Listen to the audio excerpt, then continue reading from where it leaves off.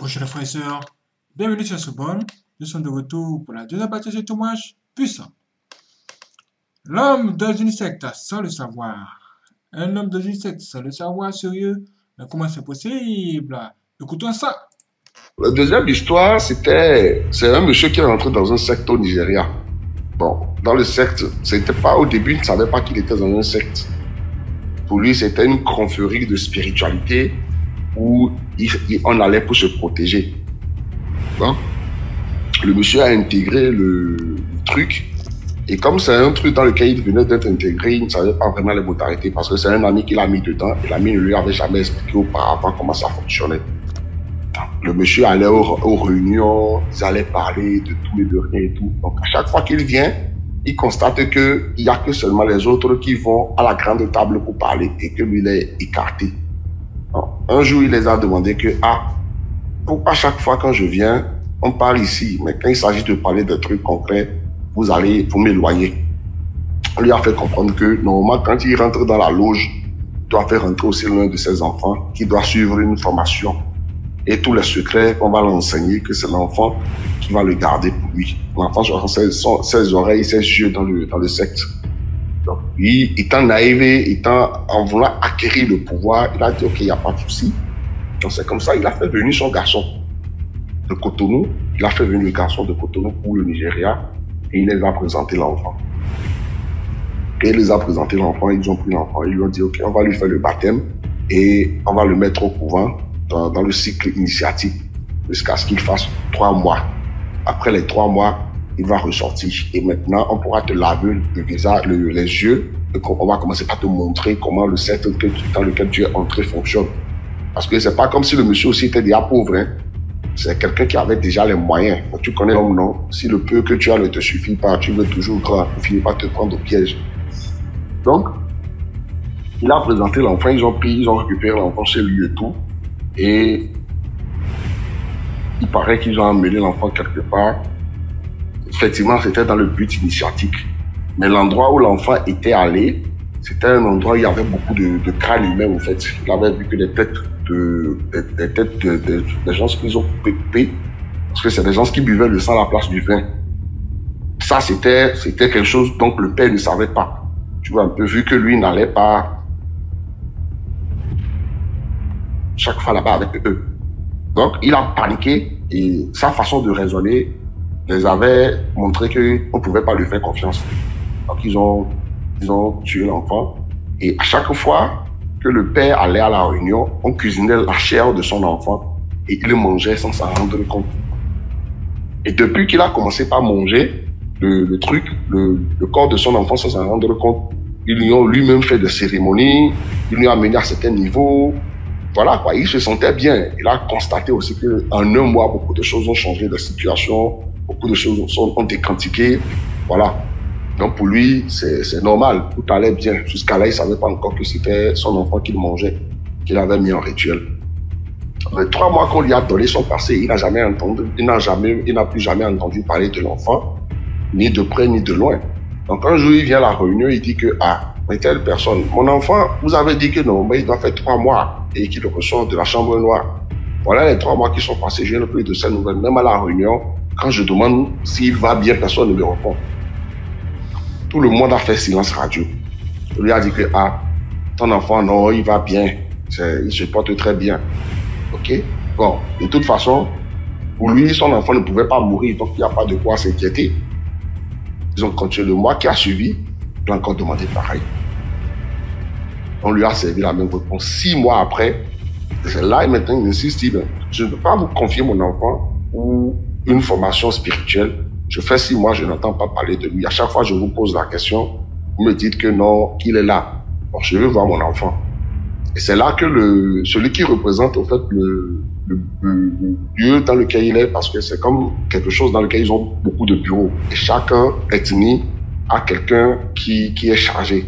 Souvent chez nous, bon, dans la langue locale, on les appelle les Oboni. Les Oboni, ça veut dire quelqu'un qui est, qui est représentant d'une partie spirituelle quelque part. Et c'est là le bon lui dit que non, comme c'est un enfant qui est intelligent et qui a montré ses capacités, on l'a envoyé chez le, chez le Tout-Puissant en haut pour qu'il acquérisse d'autres étapes initiatiques là-bas. Quand lui, il a entendu ça, il s'est dit, ah ouais, c'est bon, si c'est ça, il n'y a pas de problème. Et vu qu'il avait commencé à raisonner beaucoup sur l'enfant, à chaque fois qu'il venait à la réunion, pour, après, le, après les réunions, les rituels, il partait sur des îles. Et on est la nuit, vous qui envoyez ça, sachez que je n'ai pas le cœur, je suis un peu heureux. Pardonnez, je suis un peu heureux. Donc, ils ont commencé par lui mettre, par lui injecter des trucs dans la nourriture qu'il mangeait pour oublier l'enfant. Effectivement, ça a marché et il a oublié complètement son enfant.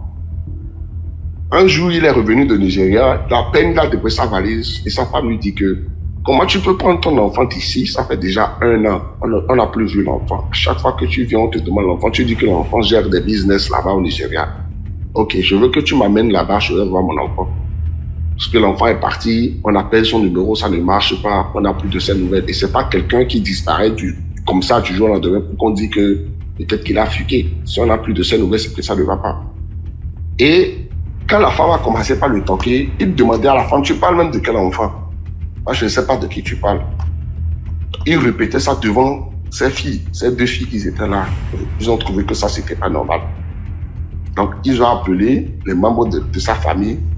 Le lendemain, son oncle est venu. Ils ont expliqué à l'oncle que voilà votre frère qui est parti de cette maison avec telle personne. Ça fait déjà aujourd'hui un an. Il n'est jamais revenu. On n'a jamais plus de ses nouvelles. On demande à son père, il dit qu'il est là. Hier, il est rentré. Voilà, voilà les réponses qu'il nous a servi. L'oncle dit, il n'y a pas de problème, je vais régler ça. Il prend la main de, son neveu, il dit, suis-moi. Il part au village avec lui. Ils lui ont mis sur des traitements de, de portions de plantes. Et les souvenirs ont commencé par lui revenir.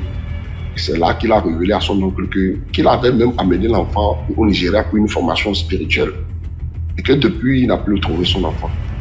C'est dans cette enquête que l'oncle dit que s'il est parti pour une formation spirituelle, moi-même, j'ai envie de rentrer dans ton truc là parce que tu sais, les affaires, ça ne marche plus. Parce que l'oncle en question, c'est quelqu'un qui a, une, grande ferme de soja dit que mes plantations, ça ne prend plus. Donc, je veux intégrer ton truc. Si intégrer ça, ça peut me donner de l'argent, il n'y a pas de souci. C'est l'oncle maintenant qui prend cette position pour pouvoir comprendre. Parce qu'ils avaient déjà fait au préalable une consultation qui les a révélé que l'enfant n'est plus vivant. Mais lui, il ne voulait pas dire directement à son neveu que ton enfant n'est plus vivant.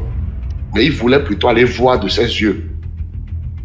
Donc après, quand il est revenu, il dit euh, à sa belle-fille, à la femme de, son neveu que non, on a parlé et j'irai au Nigeria voir même ton enfant, il n'y a pas de problème pour ça, je viendrai te faire des comptes rendus. Donc il a dit à son neveu que lui veut intégrer. Le neveu est parti avec lui au Nigeria, ils ont fait les présentations, comme ça se présente un peu et tout. Voilà, il dit, ah, j'ai apporté un nouveau terrain. Mais l'oncle lui avait déjà interdit au préalable de dire là-bas qu'ils sont familiers. Mais de le, traiter comme un ami, au fait, qui veut devenir riche aussi. Donc, effectivement, c'est ce qu'ils ont joué là-bas et tout. Et ils ont commencé la même processus avec lui. Dit, ah non, mais mettez-moi dans les vraies choses. Mettez-moi dans les vraies choses. On lui a dit que, ah, ok, si tu veux rentrer dans les vraies choses, il faut que tu nous amènes un enfant, un enfant. Si tu as un garçon, tu, tu, tu nous l'apportes. Et c'est lui qui intègre le milieu pour qu'on sache que tu as quelque chose de cher chez nous pour garder les secrets. Il dit, ok, il n'y a pas de souci. Et quand il part, il ramène aussi son enfant. Mais un enfant, pas comme l'enfant que son neveu avait apporté. Parce que tu sais que c'est quelqu'un qui est au village. Il est, il est dans le monde mystique. Il connaît, il sait déjà un peu à quoi il doit, il doit s'attendre. Donc, dès qu'il l'a amené là-bas, ce n'était pas quelqu'un qui a peur de quelque chose. Il a déjà vu beaucoup de choses, donc rien ne l'effraie. C'est cet enfant qu'ils ont, qu'ils ont amené dans certains milieux qui, nous, qui révèlent hein, ce qui s'est passé et pourquoi l'autre est resté. Puisque une fois là-bas, dans, dans, les rituels, il paraît qu'il s'est lavé dans une calebasse qu'on a versé sur le crâne là-bas, des trucs comme ça, et que c'est là qu'il a vu un visage similaire, un, un, crâne similaire à quelqu'un qu'il connaît. Et on lui a, en façon dont il regardait la tête, on lui a demandé, tu connais cette personne Il dit non. Il a répondu non. Il est resté, il est resté. Finalement, après, il est sorti du couvent. Après deux mois, il est ressorti du couvent et il avait mangé pas mal de choses. Donc, de base, ils font ça pour que ça soit ton accompagnateur, en fait. Vu que on dit que l'âme de ton enfant est là-bas. Donc, si jamais tu révèles les secrets du secte, on peut te disjoncter, on peut tuer ton enfant à tout moment. Donc, tu tiens à ton enfant, tu ne parles pas. Donc, c'est cet enfant qui venait raconter à son père ce qu'il ce qu'il a vu là-bas. Quoi et quoi il a vu là-bas. C'est maintenant que l'oncle aussi a vu qu'ils étaient tous dans un mauvais, dans un mauvais vol, qui partaient pour une destination inconnue. La fête durait, la fête durait. Donc à chaque fois qu'ils reviennent, la, femme de son neveu lui dit, mais tonton, tu as dit que si tu pars, tu reviens, tu vas amener les nouvelles de mon enfant. Jusqu'à aujourd'hui, tu n'as pas amené les nouvelles de mon enfant. Et c'est là un jour, il fait asseoir la dame pour dire que je te dis la vérité, ton enfant n'est plus vivant. Je vais, te, je vais chercher pourquoi il est décédé, puis je vais te revenir. À la prochaine réunion, ils sont partis. Ils avaient fini de faire la réunion. Ils voulaient dîner. Et c'est là qu'ils demandent au président que chaque fois on vient s'asseoir, on mange ici. On ne fait pas de sacrifice de chèvre. La viande, comment c'est la viande de quoi? Parce que tu sais que dans certains niveaux initiatives ou quand tu rentres dans certains, dans certains clans, il y a certainement certaines têtes qui sont au courant de certaines choses. Vous êtes des novices, vous êtes dehors, vous faites des rituels pour que vous prospérez. Vous ne savez pas réellement ce qui est derrière le rideau. Il dit, mais on a assisté jamais un sacrifice de bœuf ici. Vous ne nous montrez rien. Nos enfants que vous mettez là-bas, vous leur dites de ne rien nous dire. Mon enfant ne me dit rien. On vient chaque fois, on mange la viande. La viande là, c'est tout. C'est la viande de quoi? C'est la viande de cheval. Et comme c'était une causerie, ça avait avancé, ils avaient déjà un peu bu. Donc, entre eux, ils ont parlé. C'est là quelqu'un dit que, mais, tu parles parce que tu n'as pas encore goûté à la viande de ton enfant. Vas est sorti il faut aussi dire que ce n'est pas naturel parce qu'avant qu'il ait créé ce scandale, il, il s'est déjà préparé éventuellement à certaines choses. Donc il savait un peu que ça pouvait dégénérer à tout moment, vu que son enfant aussi était avec lui à la réunion. Donc on lui a toqué que c'est parce que tu n'as pas encore goûté la viande de ton enfant que tu, tu, tu, tu, tu cherches à savoir c'est la viande de quoi. Ah, juste il paraît que c'était une histoire de très très grande taille entre eux. Hein qui va sortir vivant de là, qui va, qui va sortir mort de là. Ils sont restés là, ils, ils ont fini par créer une compréhension et ils sont rentrés. Tu t'imagines que le même jour quand ils sont rentrés, le lendemain, son neveu ne s'est plus réveillé. Le neveu est décédé. C'est après l'enterrement du, du, de son neveu qu'il expliquait à la femme que, ah, voilà pourquoi ton mari est mort, voilà dans quoi il est rentré. C'était à cause de ça que je l'ai suivi pour rentrer dans cette chose-là. Et après qu'il a fini de parler, son propre fils aussi qu'il avait mis dedans est devenu fou. Jusqu'à aujourd'hui, l'enfant est là, il est fou. On le voit toujours en train de ramasser des trucs. Hein. Ah, bon, il, là. il ramasse les sachets de partout. Voilà, mais le monsieur, il est, il est portant, mais il n'est plus comme avant. Hein. Il, est, il a vendu tout ce qu'il avait comme terre. Voilà quoi. Maintenant, il se consomme seulement, il se contente seulement sur l'alcool tu vois un peu. Mais la famille était, était brisée. Et quand même, l'histoire, la disparition de l'enfant, de son neveu, avait, avait refait surface. On a compris que ah, voilà, voilà pourquoi l'enfant était décédé, il était porté disparu. C'était ça ma, ma, deuxième histoire. Waouh, vous avez entendu ça? Incroyable, mes frères. Nous allons écouter encore notre voyage, c'est parti. Je voulais raconter une petite histoire qui s'est passée euh, au Nigeria. Bah, c'est une dame et son mari qui sont restés, euh, ils ont vécu plus de 15 ans euh, ensemble. Depuis qu'ils se sont mariés, ils n'ont pas eu d'enfants. Ils étaient en quête d'enfants. Vraiment, ils étaient heureux, mais il manquait quelque chose. C'était un enfant. Ils n'avaient pas d'enfant. Et tout, ils se sont mis en prière. Ils ont prié, gêné pendant des années. Et euh, 15 ans plus tard, Dieu les a accordés. Ils ont eu un petit enfant. La femme du coup, elle est tombée enceinte, elle est restée neuf mois. Euh, sa mère prenait soin d'elle, puisque c'était le, nouveau bébé et tout, un nouveau accouchement. Donc, elle ne savait pas comment s'y prendre. Donc, sa mère était là, qui l'accompagnait durant euh, sa période de, de, grossesse et tout, jusqu'à ce que la dame, elle a couché. Elle a couché. Lorsqu'elle a couché, un mois, deux mois plus tard, du coup, euh, ils ont organisé une grande fête puisqu'ils sont restés plus de 15 ans sans pourtant euh, avoir d'enfants et le mari a refusé de se marier à quelqu'un d'autre. Puisqu'ils étaient des musulmans, la famille a proposé de, de, se, de se marier, d'avoir une première, une deuxième femme, mais lui, il a refusé. Il a dit qu'il ne voulait pas. Il aime sa femme. Si elle ne fait pas d'enfants, c'est pas grave, ils vont rester comme ça. Et du coup, lorsque la dame, elle a couché, le deuxième mois, ils ont euh, décidé de faire, euh, voilà, le, baptême. Et ce fut un grand baptême. il a acheté le, mouton, le bœuf, ils ont égorgé le bœuf, tout le monde était venu au baptême et tout. C'était un petit garçon. Donc, pendant le baptême, qu'est-ce qui s'est passé? Il y avait quelqu'un, un ennemi à eux, qui était dans la, dans la fête en fait. Et du coup, après la fête, tu sais que lorsque une femme accouche, euh, lorsqu'elle voit, voit bébé et des baptêmes comme ça, la, la, la, la maman est habillée, le bébé est habillé, les gens viennent, ils donnent les cadeaux, ils prennent le bébé, ils font les photos avec le bébé et tout ça là. Après tout ça, après la cérémonie, tout le monde est rentré chez lui. Le soir même, l'enfant a dormi, il n'avait rien. Le deuxième jour, un nouveau-né de deux mois. Le deuxième jour, la maman constate que son bébé n'est plus le même. Le bébé n'est plus comme avant. Elle fait le constat. Ah, le bébé ne mange plus bien. Le bébé ne pleure pas. Le bébé ne, ne se, ne se plaint de rien. Le bébé passe son temps que à rigoler. Il rigole, il rigole, il rigole. Et il a la bave qui... En fait, il a plus de bave. On sait que lorsque un bébé est petit, on lui met souvent les bavoirs parce que lorsqu'il joue avec des mains, il y a souvent la bave qui sort. Mais là, la bave là était différente de, la bave normale d'un bébé.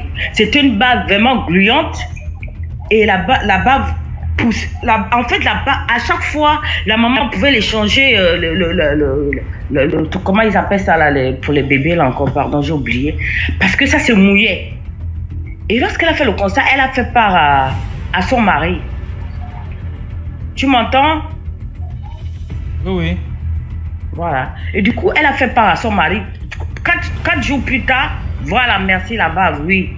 Du coup, elle a dit à son mari que, ah, l'enfant là n'est plus pareil.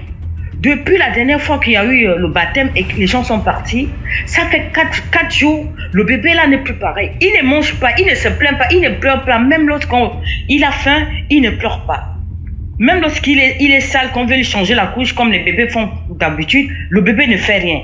Il passe seulement son temps à rigoler, il rit. Le mari dit non, mais c'est normal, c'est un bébé. C'est normal qu'il rit. Elle dit non, je ne refuse pas, mais là c'est plus normal. Il passe son temps à rigoler et il bave beaucoup. Et ça bave vraiment gluant. Le monsieur a dit mais non. C'est comme ça qu'il a remarqué aussi, il, a, il est resté toute une journée, il n'est pas allé au travail pour surveiller un peu le comportement de son, son bébé. Et du coup, lui-même, il a remarqué que le bébé n'est plus, n'est pas normal en fait. Le bébé, il est resté avec le bébé toute la journée, le bébé ne pleure pas, comme d'habitude. La nuit comme le jour, le bébé ne pleure pas. Même pour manger, c'est difficile. Oh, mais qu'est-ce qui ne va pas avec euh, l'enfant? C'est comme ça qu'ils vont voir euh, un mois plus tard, ils vont expliquer le problème à la, la- elle explique le problème à sa mère que non, voilà, voilà ce qui se passe à la maison. La mère dit ah, c'est un bébé, c'est normal. Elle dit non, le bébé là n'est pas normal. Avant, il n'était pas comme ça. C'est comme ça que la belle-mère, sa maman vient à la maison passer toute la, la, la, la nuit. Et la maman constate aussi que effectivement le bébé n'est plus normal. Donc le bébé est devenu, ils ont rendu le bébé est devenu un petit, un petit fou. C'est même pas mongol, mais le bébé était devenu fou quelqu'un a, a, a, lancé euh, euh, un sort au bébé pour que le bébé devienne fou. En fait, comme ils ont fait le bébé, ils sont eux. En fait, la personne ne voulait pas ça. La personne, la personne qui a fait ça voulait vraiment qu'ils soient malheureux dans leur couple, sans enfant. Et lorsqu'ils ont eu l'enfant, ça, ça, ça a mené euh, une joie de vivre dans ce, dans ce, dans ce foyer-là. Et du coup, il y a quelqu'un que ça n'a pas, ça n'a pas plu. Et du coup, lorsqu'il y a eu la cérémonie, il y a quelqu'un qui a mis un sort dans le bébé et le bébé est devenu vraiment fou. Donc le bébé devait grandir comme ça et lorsqu'il aura un certain âge, il va, il va partir dans la nature. Oh, c'est comme ça qu'ils sont allés voir euh, un, un- marabout. Le marabout est venu, c'est le marabout qui a expliqué, qui a détaillé tout, euh, l'histoire. Le marabout a dit non.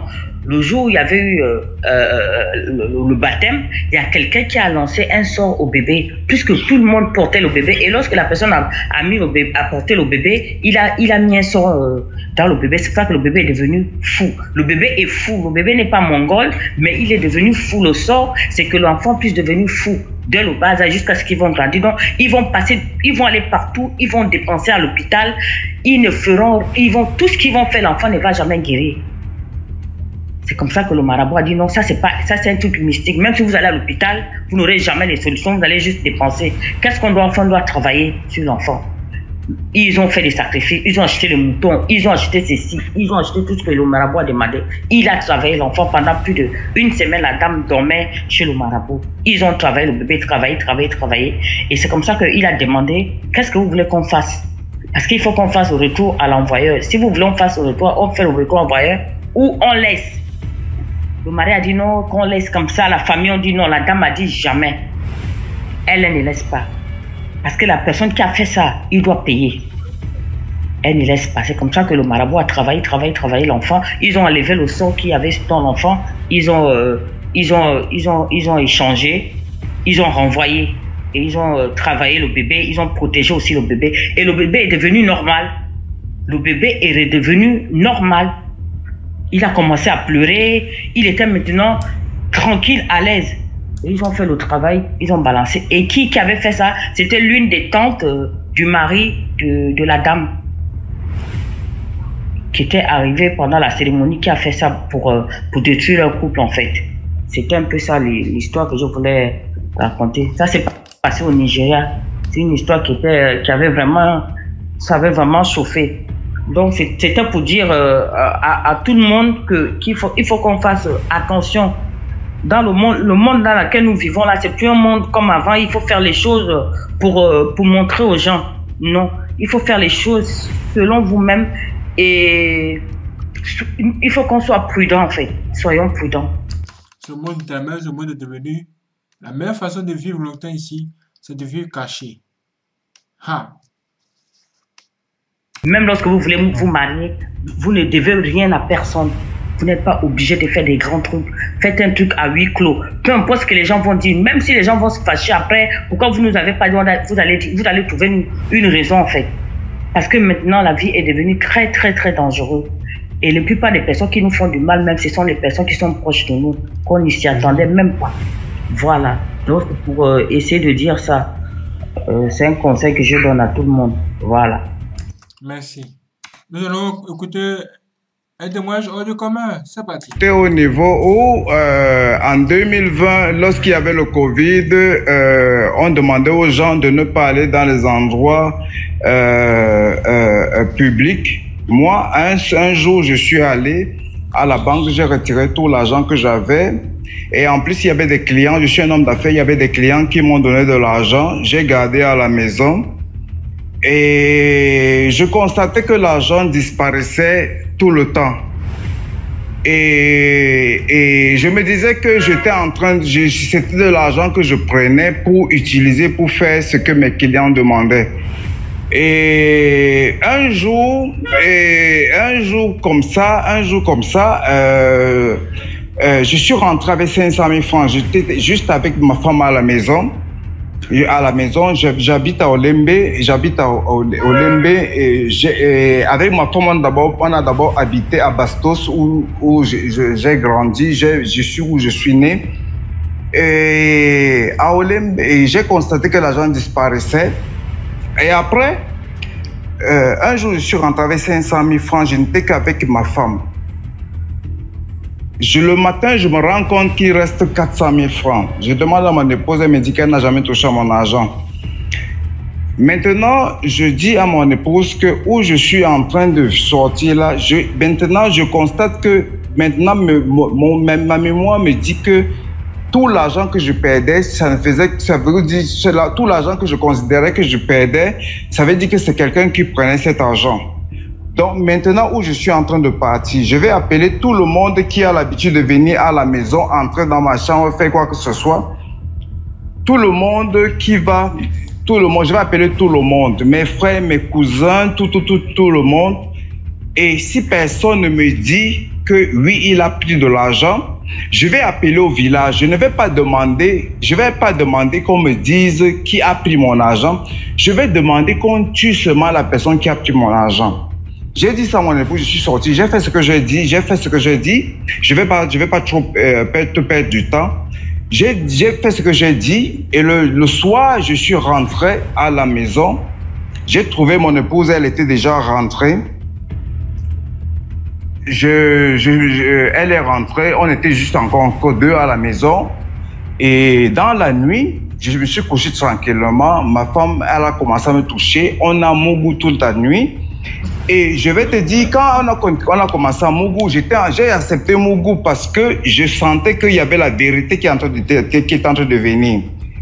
Et euh, au petit matin, elle me dit, euh, est-ce que tu as appelé tout le monde, comme tu disais Je dis, oui, j'ai appelé tout le monde. J'ai même déjà envoyé l'argent au village pour qu'on tue directement la personne qui a touché à mon argent. C'était beaucoup, une somme importante qu'on avait touchée. Elle m'a dit, euh, si on n'a pas encore fait le travail, je vais te dire, c'est moi qui ai touché à ton argent. J'ai dit, d'accord, tu as pris combien dans mon argent? Elle me dit, elle réfléchit, elle me dit 480 000 francs. Tu n'as pas pris, j'ai dit que tu as pris 480 000 francs. Ah bon, je vais te laisser passer, je vais passer cette histoire. Euh, elle a pris 480 000 francs, je vais passer cette histoire.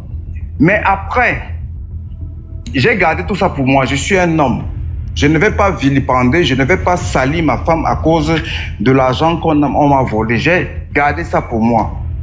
Un jour, je suis à la maison avec mon fils, mes deux derniers fils. J'ai quatre enfants, deux filles et deux garçons. Le dernier, il fait la maternelle. Un jour, ma femme, et ce jour-là, ma femme a laissé son téléphone qu'elle n'utilise pas tellement à l'enfant pour que l'enfant se joue avec le gars de la maternelle. Le gars de la maternelle, il vient et me dit, papa, prends. J'ai dit, oh, on va jouer avec. Il me dit, prends deux fois. La troisième fois, il me dit, je prends, je vois, il, il a ouvert la page où on dit, où ma femme a envoyé un message. Chaque fois, nous sommes des bantous. L'hôpital ne fait pas tout sur nous. L'hôpital ne nous soigne pas sur tout ce qui nous arrive. Je, je, prends le message, je constate que, je constate que ma femme, elle a envoyé un message à une femme euh, qui fait du spirituel, qui fait de, de mauvaises choses, et dit que mon mari est rentré avec, et m'a dit qu'il est allé quelque part et on va nous fabriquer un parfum, on va se laver avec pour nous débarrasser de certaines choses qui nous dérangent à la maison. Moi, je n'ai jamais caché à ma, femme et parfois même elle me disait que euh, essaye un peu d'aller voir ton, monsieur là pour voir si tout va bien à la maison. Je le lui ai dit. Elle envoie le message et dit mon mari est allé quelque part à cette dame et mon mari veut gâter le travail qu'on a fait. Et mon mari veut gâter le travail qu'on a fait. Je prends ce message, je filme ce message et à la fin du message, elle envoie le numéro de sa maman. Ça veut dire que elle, on travaille sur moi, on travaille sur moi et avec et sa maman est au courant.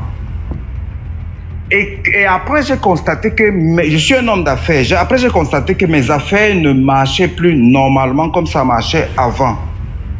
Je suis j'ai dit, et avant ça, mon épouse m'a dit, euh, arrêtons d'aller chez les marabouts, ceci, cela, prions Dieu, Dieu va nous aider, ceci, cela, les choses comme ça.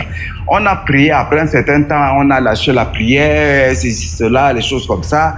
Moi, je suis allé voir un prêtre exorciste, un prêtre exorciste qui me suit. Et il m'a dit, il y a des problèmes sur toi, ta, ta belle famille, ceci, cela, les choses comme ça. Et après, ce qui s'est passé, c'est quoi? C'est que j'ai commencé à suivre les conseils de mon, de mon guide spirituel qui était ce prêtre. Il, il avait mis deux femmes, deux sœurs euh, euh, euh, derrière moi parce que lui me dit, tu ne vas jamais me voir t'appeler. Et c'est ces deux sœurs-là qui vont gérer ta situation. J'ai dit, d'accord. J'ai commencé à faire mon travail spirituel quand j'arrive mon travail spirituel, on m'a demandé de faire un travail, on m'a demandé de faire une prière de, de, sur, sur l'eau et de verser à la maison. Quand j'ai versé à la maison, le, la télé du salon s'est grillée. La télé du salon s'est grillée.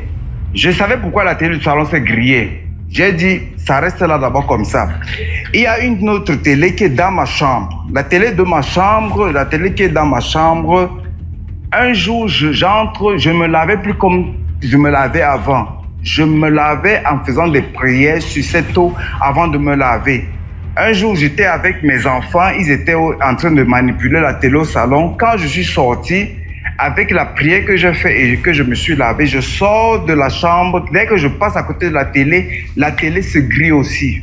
J'ai dit, mais les enfants ont cru que c'est eux qui ont euh, mal euh, utilisé la télé et la télé s'est grillée. J'ai rapporté tout ça à mes guides spirituels. Ils ont rapporté ça aux prêtres qui me suivent. Ils m'ont dit, voilà, voilà les caméras qui sont derrière toi, qui sont en train de te surveiller, ceci, cela, les choses comme ça. Et tout ça, euh, et, tout ça, j'avais déjà le message de ma femme qui voyait les marabouts.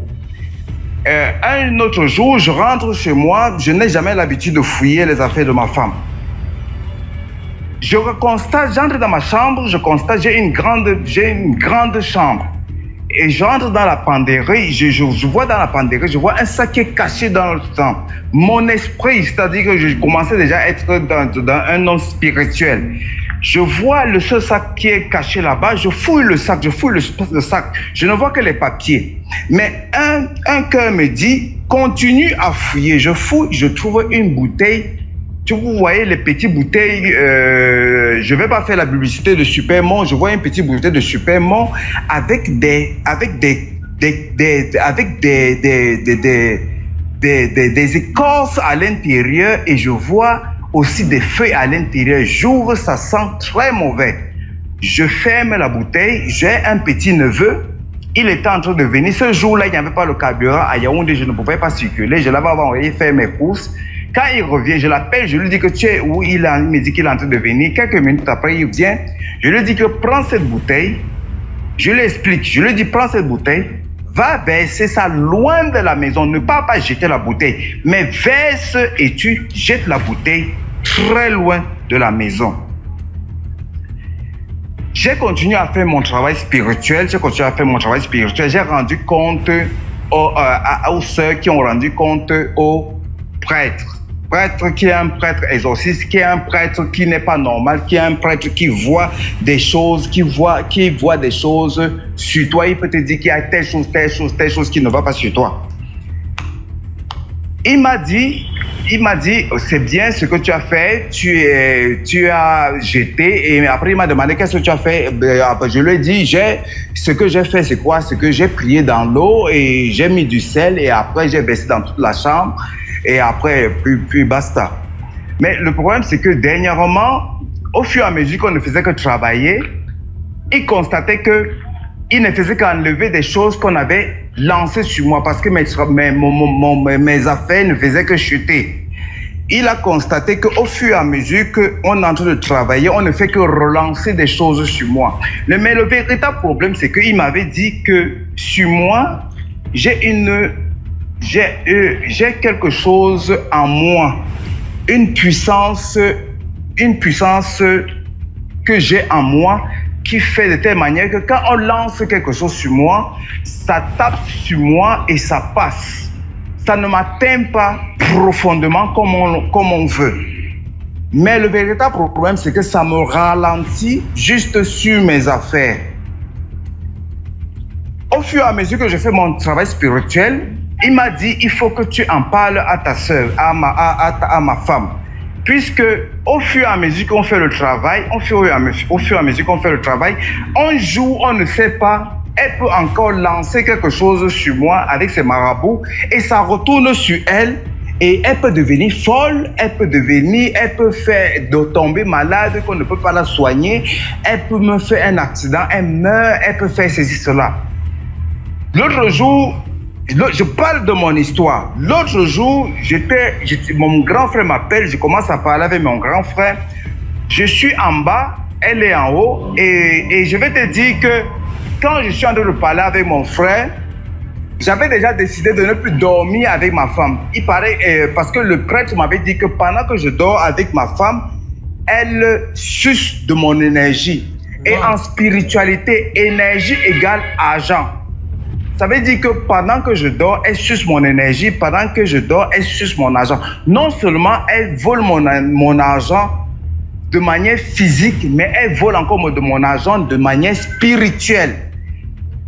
Donc, j'ai décidé de ne plus dormir avec ma femme. Depuis, ça fait, aujourd'hui, ça fait presque un mois et demi que je ne dors plus avec ma femme et je ne dors plus avec aucune, plus, aucune femme.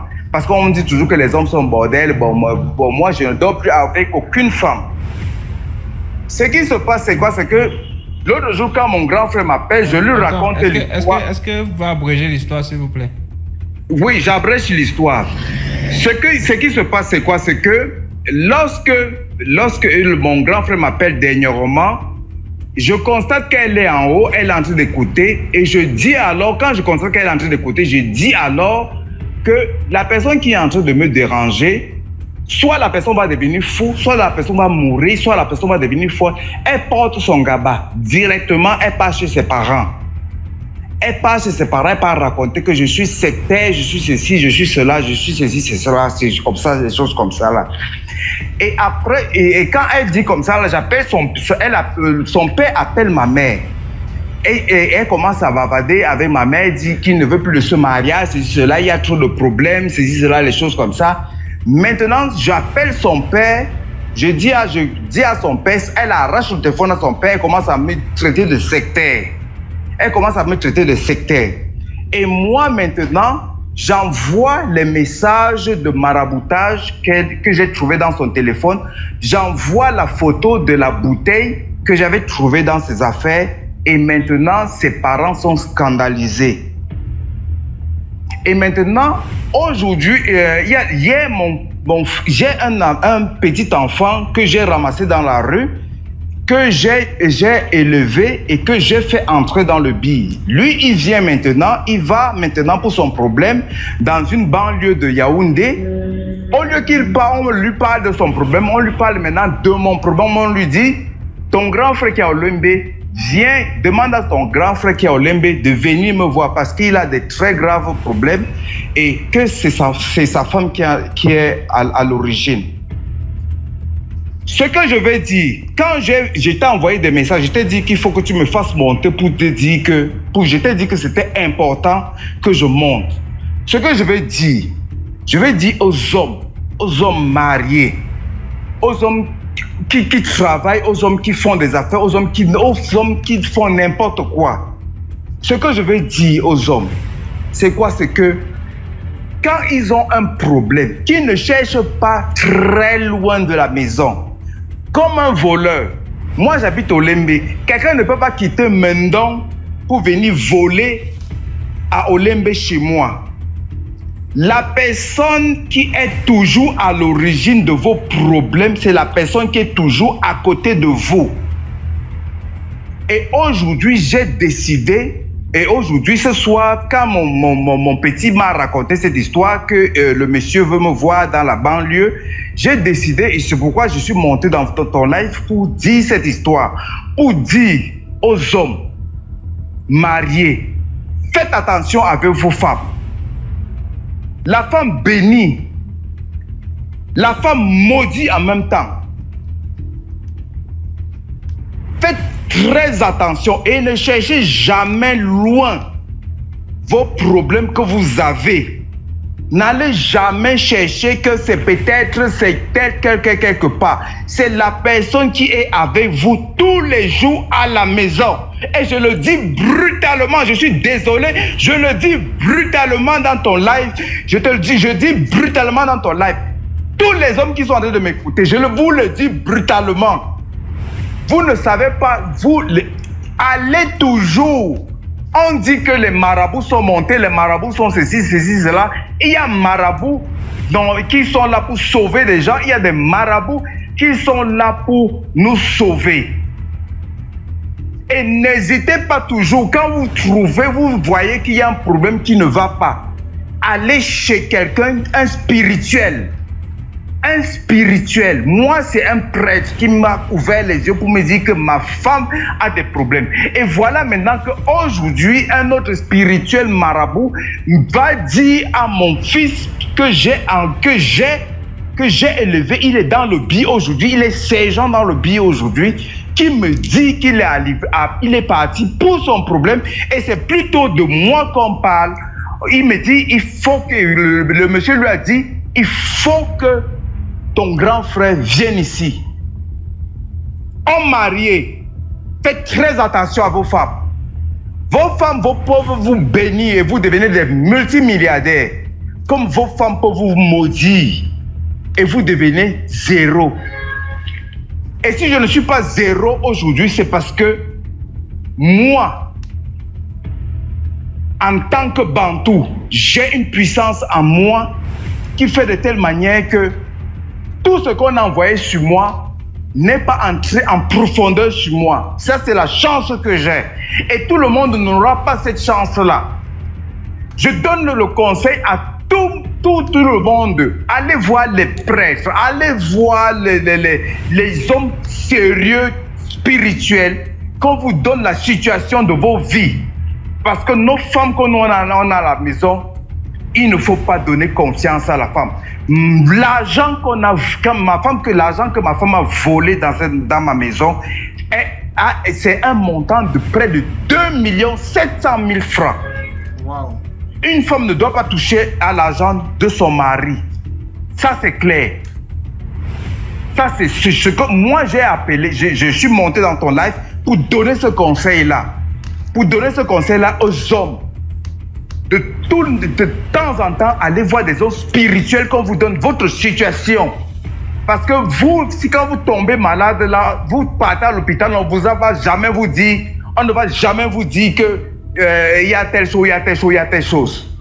DMG, je m'arrête là. Si quelqu'un a suivi mon conseil, tant mieux. Si quelqu'un n'a pas suivi mon conseil, il n'y a pas de problème.